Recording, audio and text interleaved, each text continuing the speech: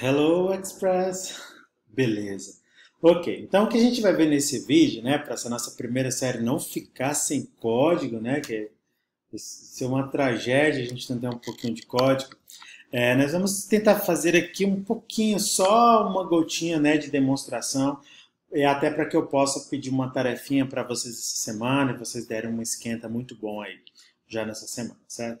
Então, como eu disse para vocês, eu vou utilizar aqui nas minhas demonstrações, principalmente o mundo JavaScript, certo? Então, o Express está aqui já com ele aberto, mas basta você colocar aí no seu Google Express, muito provavelmente vai cair nele logo aqui. Se não cair, aí você bota Express.js vai cair aqui nele também, certamente. Certo? Então, ele é um framework, tá, tem a tradução aqui, né? Tá até em português aqui alguma. Ele é um framework, ele é um micro framework, né? Então, ele é pequenininho, simples para você começar, não tem configuração, não tem nada. Então você instala ele, configura uma rota e dá o play. Né? Via de regra é assim que ele funciona. Logicamente, quando a gente está fazendo, assim, ele começa sempre dá um probleminha, né? Ah, professor, aí dá certo, aqui não dá certo. Eu vou fazer aqui junto com vocês, e aí é bom que aqui também não vai dar certo de primeira, e aí a gente já vai vendo as paradas. Mas antes disso, quem está fazendo aqui juntinho comigo, é necessário que você instale o Node aí no seu computador, certo? Então você bota aqui Node no Google, botei errado, né? Mas acabou aparecendo aqui. Você bota aqui o Node e faz a instalação, verifica como, enfim, não vou ensinar vocês a fazer a instalação, não sei, a gente segue sempre um roteiro aí. Né?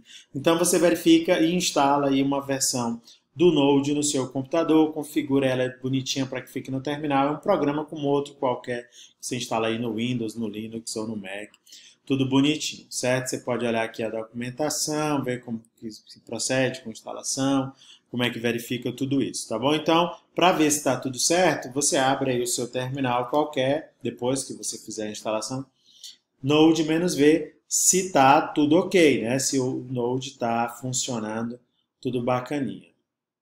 Tudo bem? É, junto com o Node, muito provavelmente vai vir o NPM.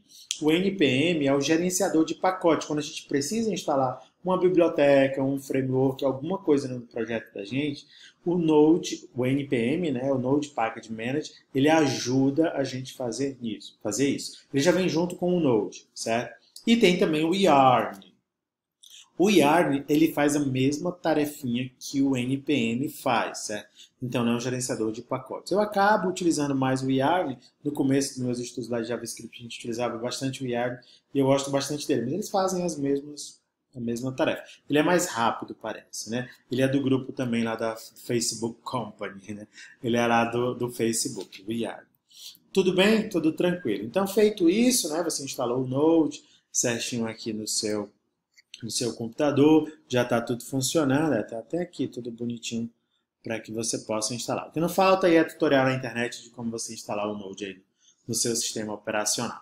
Voltando aqui ao Express, vamos direto aqui ao ponto, né, para o nosso vídeo não ficar muito longo, a gente precisa criar uma pasta onde vai ser o nosso projeto, é, vai, vai compreendendo o processo que o fazer fica mais, mais tranquilo. Né? A gente vai criar uma pasta que vai ser o nosso projeto, e a gente entra nessa pasta e aí aciona o npm ou yarn para ele baixar o Express lá dentro. Olha, cara, essa pasta vai ser um projeto Express. Baixa ele aqui, né? Você dá um yarn add, né, ou npm é, install, algo do tipo assim, para trazer ele, certo?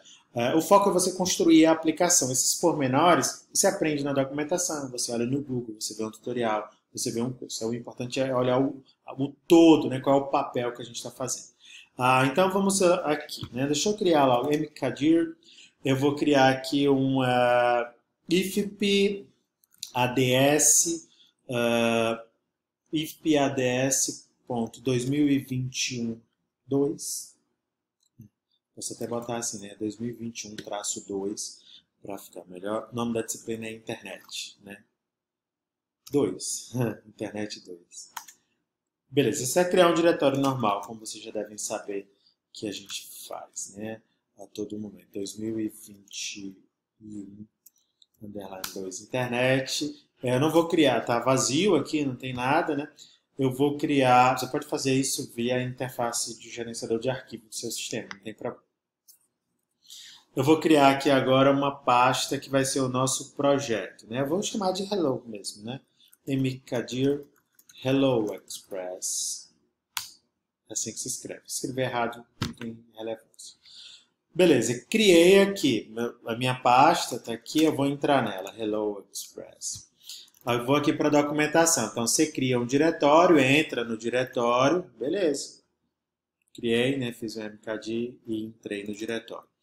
Dentro do diretório, você vai pedir para inicializar aquilo como um projeto Node, né, como um pacote Node, certo? Então, se for usando npm, você bota npm init. Se for utilizando o Express, o yarn, não é o Express, o yarn, você bota yarn init. Ele vai fazer uma série de perguntas aqui, o init, assim como o npm. Ele até diz aqui na documentação, você deixa tudo padrão, você pode só mudar aqui a entrada principal do projeto para ser o index.js. Para que ele não me faça essas perguntas, eu digo logo sim para tudo. Yarn init sim e pronto, ele já criou aqui o packet.json, né? Quem está chegando no mundo JavaScript tem esse packet.json, onde tem configurações, quais são os pacotes que estão instalados, versões, coisas desse tipo, tá bom? Agora eu posso abrir essa minha pasta aqui no meu VS Code, tá? Eu posso abrir por lá, eu posso abrir por aqui. É, Para abrir direto num comando lá, deixa eu ver se eu consigo abrir. Tá aqui, internet 2, né? Tá aqui, Hello Express. Vou abrir. Uh, o VS Code passou a apresentar essa perguntinha aqui, eu digo logo sim. Tá bom? Beleza? Tá aqui o nosso projeto, não tem nada aqui no nosso projeto. Tem só aqui esse packet.json, que é Hello Express, versão 1.0. O arquivo principal virou até o index.js e essa licença aqui de permissão, enfim. Beleza, tá tudo ok, tá? Vamos pedir agora para instalar o Express. Se, aí tem, se você utilizar o npm aí, não o yarn que eu estou utilizando, falando em yarn, gente, instala esse yarn, vers, yarn versão 1.2.2, sabe? A versão mais estável. Ele acho que ele tem uma versão 2. Você acha facilmente o tutorial de como instalar ele, bem simples. Uh, agora instale o Express no diretório app e salve na lista de dependências. Né? Para instalar o Express temporariamente, não inclua na lista de dependências. É, significa esse save que ele vai ficar aqui, né? vai listar aqui quando você botar o traço traço save. Aqui no nosso caso, eu vou botar yarn add express, somente express. Somente express. Uh, então é isso que o, os gerenciadores de pacote fazem. Eles vão na internet, lá nos repositórios, e vão trazer aquela biblioteca, aquele framework para o nosso projeto, certo? Isso é a forma de se programar hoje em dia é assim, tem um tempo que é assim, né? Mas é equivalente ao que a gente fazia, sei lá, no Maven, né? Lá no Java, lá nos anos, nos anos aí para trás, tá bom? Mas todo mundo tem um gerenciadorzinho de pacotes. Beleza. Ficou legal. E aqui o nosso projeto, agora, ele tem, além do package.json, ele tem essa pasta Node Models, que é onde ele baixa essas bibliotecas e as dependências. Viram que aqui não vai ter só o Express, né? vai ter o Express e tudo que o Express declarou que precisa, né? mas que foi instalado aqui foi o Express. Essa pasta, essa pasta aqui, Node Modules, ela é uma pasta que tende a ficar grande, certo? Ela fica grande, você vai trazendo uma série de bibliotecas, fizer outro projeto também, vem para lá. E você pode apagar ela quando desejar, basta você rodar yarn novamente, ou então npm, npm install, se não estiver enganado, que ele vai olhar aqui no seu packet.json, olha, observe aqui, ele criou essa seção de dependências, ele está dizendo, olha, você vai, aqui esse projeto depende do Express é, nessa família aqui de versão, certo? Lá no Node ele explica, lá na documentação do Node, como é que funciona essa questão de versionamento aqui, caso para lidar com atualizações de versão. Mas tudo bem, vamos adiante, né? Nove minutos. Feito isso, eu quero, tenho que, nossa meta é botar para rodar aqui uma aplicação Express. Certo? Beleza, tá tudo bonitinho aqui. Deixa eu ver se eu consigo fazer como eu estou pensando. De cara a gente poderia só copiar e colar aqui, né? Mas vamos ver. Vou, eu preciso do Express. A partir do Express, eu crio uma app, né? Então, o Express, eu crio uma instância dele, né? Eu chamo o Express, eu importo o Express. Então, a partir do Express, eu crio uma instância dele como se fosse uma instanciação mesmo lá da orientação a objetos. E a parte, que no caso aqui é via função, né? que aí eu vou, a partir dessa aplicação, poder configurar rotas, que são as URLs lá do Django, mais ou menos, certo? Ele é feito para ser bem simples. Vamos criar aqui um arquivo index.js. Uh, eu não sei se eu consigo utilizar aqui, mas enfim, vou tentar utilizar aqui o... Eu vou usar do jeito que está na documentação. Então eu importo o Express, uh, eu posso chamar aqui required express, ele já vai mostrar para você aqui certinho, tá bom? É, então, esse Express é o que a galera lá declarou, que a galera desenvolveu, a turma lá do próprio Express. Agora eu posso criar uma aplicação Express, de acordo com o que está lá na documentação. Estou só seguindo lá a documentação. É, e não estou usando TypeScript aqui ainda, vocês estão vendo. Agora eu quero configurar uma rota bem básica, né? a rota barra, né? É, que dê um hello, um retorno de alguma coisa aqui para gente. Então vamos lá. Aqui nele a gente tem os métodos. Nessa aplicação, vocês já estudaram lá os métodos. Nós temos o método get, o post, o put e o pet e o delete. Todos esses são métodos HTTP. Então, Aqui a gente vai configurar uma rota dizendo, olha, eu quero configurar uma rota que ela é do tipo GET. Perfeito, certo. Mas qual é a URI dessa rota, certo? Não, ela é uma rota na raiz do, do, do nosso projeto. É uma rota barra, não tem nenhum outro, não é uma rota about, não é uma rota cadastrar, é só uma rota no próprio barra. Beleza. Uh, então, quando alguém acionar o nosso servidor aqui chamando na raiz do projeto, quem vai lidar com isso? Né? Quem vai lidar com isso? Então a gente precisa cadastrar, estão vendo aí, ó, um handles, o handles, né? E esse handles, né, para esse path que nós mandamos aqui, nada mais é do que a gente receber essa requisição, certo? Uh, observem aqui para vocês não ficarem confusos, né? Até com a sintaxe para não achar difícil, mas isso aqui é uma, observe, isso aqui é uma função em JavaScript, certo? Eu estou declarando, lembra das funções lambdas lá de Python? Isso aqui é uma função, então aqui é a lista de parâmetros da minha função. E essa seta aqui eu botei assim, igual e o maior que, que ele fez a ligação, né? É, e aqui tem o corpo da nossa função. Então essa função aqui vai ser acionada quando alguém chamar nosso servidor no barra. E o que, eu vou, o, que o framework vai entregar para a gente aqui? Então ele vai entregar a requisição e o response, certo? Então ele já vai criar para a gente esses dois objetos de acordo com a requisição que chegar aqui para a gente. Então tem um request e o response. Eu vou pressionar Enter aqui, vocês não, não precisam ficar confusos. Então cá está. Então essa função get, que está dentro de app, ela tem dois argumentos que nós estamos passando para ela. Qual é o, o padrão da URL, né? Está aqui o padrão barra e quem está lidando com isso, certo? Quem vai lidar com isso. Então, o request vai estar aí. E o retorno que eu der aqui, né? Quem é que cuida do retorno, né? É o response. Eu nem olhei ali a documentação, estou confiando aqui que vai dar certo, né?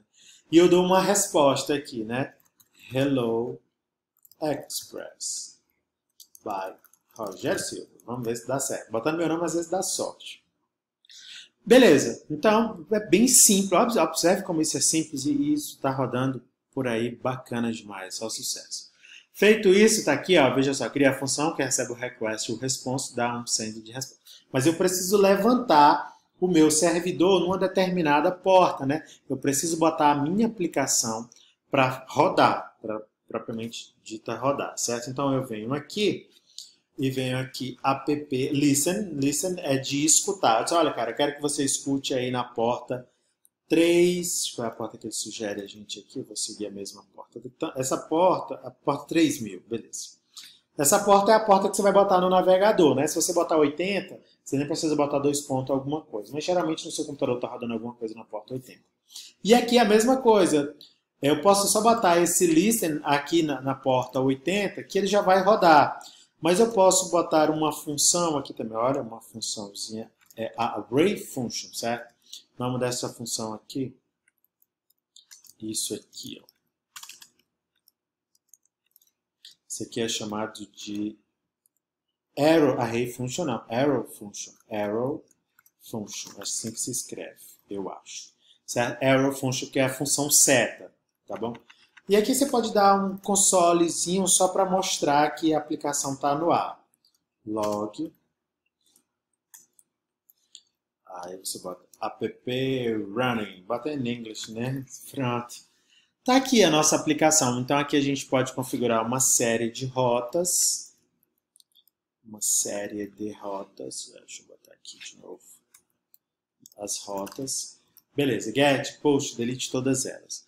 É, como é que faz para rodar aqui agora? Acho que é só chamar o Node, né? Node e o nome da nossa aplicação e é para dar certo. Deixa eu olhar aqui. Se der errado, a gente faz tudo para dar certo. Então, Node index.js foi o nome que eu dei aqui para nossa, né? Vamos ver o que, que vai acontecer. Já deu app running, né? De cara, já deu app running. Como é que eu tenho certeza que está funcionando, né? Então eu venho aqui no navegador, pego uma nova aba, é no meu computador, é localhost, e a porta é a 3000, né, rota barra. Quando eu pressiono aqui, olha, nossa aplicação está rodando de forma extremamente simples, foi fácil levantar um servidor, tá bom? Ah, então, não tem o que fazer, está muito tranquilo, certo? No próximo vídeo, vou gravar mais um vídeo aqui, no próximo vídeo eu vou botar aqui uma rota para cada um dos quatro métodos principais, e vou abrir aqui o Insomnia e mostrar como fazer requisições aqui com Insomnia ou com Postman. O Postman também é um cliente, Postman, para essas nossas rotas. Tá? E assim eu vou conseguir é, pedir para que vocês façam uma, uma aplicaçãozinha simples aqui com o Express, tá bom? Por enquanto sem JavaScript, TypeScript, na próxima semana a gente já muda para ele. No próximo vídeo vou, é um micro vídeo, rapidinho só mostrar as rotas para cada um deles e como a gente chama rotas que não sejam somente rotas GET, né? Porque via navegador eu só consigo chamar rotas GET. Eu acho que só consigo chamar. O que a gente manda aqui é só do tipo GET, tá bom? Próximo vídeo.